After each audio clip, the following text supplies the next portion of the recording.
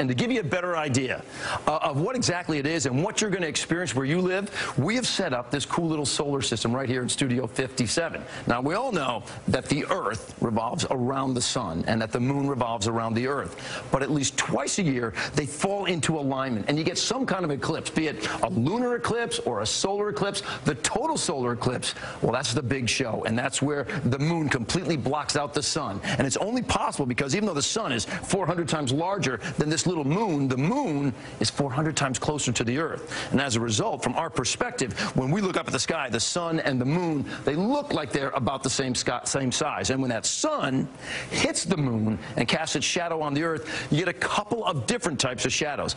Number one, most of you are going to see a very large penumbra. That's a partial shadow where you still see a portion of the sun. But a select few of you are going to get to see the umbra. And that's nature's big event. That's where the moon completely blocks out the sun. It's called totality. And the area where it hits on the Earth is known as the path of totality. And on Monday, it goes from Oregon to South Carolina. So Charleston, South Carolina, you're going to get a bona fide 100% solar eclipse. If you go to, say, places like Portland, Oregon, 99.5%. And then if you go away from this line, be to the north or to the south, you'll get a lower percentage. About 90% of the sun is covered in Seattle, Denver, Atlanta. And then the further away you go from that line, the percentages continue to go down. 75% of the sun is covered in San Francisco and Philadelphia. And further away you go from that, the percentages continue to go down. But everybody in this country is going to see something on Monday. So get out there and check it out. The big question now becomes, what's the weather going to be like along that path of totality?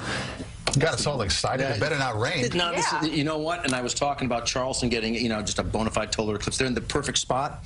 I was just looking at the uh, the data for Charleston, and it looks like clouds and rain for Charleston. Wow. I think the best viewing may very well be the Pacific Northwest. Uh, I mean, I can't find a cloud anywhere close to the area. I don't think it's going to develop. I think it's going to be perfect. Uh, I think Nebraska may have a tough time with it, but then you get to the Tennessee Valley. I think it looks beautiful again. And then the ironic thing about South Carolina, if you're not on the coast, I think you'll be fine. But Charleston, uh, I just don't think this is going to be their best viewing of the eclipse. We're going to see 71% of the sun obscured by the moon. So but we're, not going to see the sun. Yeah, yeah, and and that's the whole thing. I mean, you really would love to be able to see the corona, the atmosphere of the sun. The only way you see that is during the total eclipse, when that moon totally blocks out everything. Maurice, do you realize when that happens, it, literally, you see stars. You'll see the sky gets that dark. Wow. It's not like kind of dark. It's dark. Lights have to go on the cars, and uh, it's going to be a cool we're, thing. We're excited now. Yeah, I mean, I'm, don't I'm, forget the glasses either. You got to protect your eyes. Yeah, you will. In this area, you got to use the glasses. You have. The only place you can be and not use the glasses is at totality when it's totally blacked out. Mm.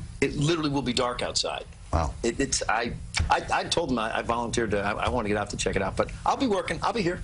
Uh, let me show you what I've got as far as our New York City eclipse. The numbers again. We will have about 71 percent of our sun obscured by the moon. So you're always going to see, you know, that you know, three-quarter sun. Uh, you'll always have that, at, even at peak. But it starts at 1:23 in the afternoon. It peaks at 2.44 in the afternoon, and then it finishes up at 4 o'clock in the afternoon. So it, it takes a while for the, the, the moon to travel across the face of the sun.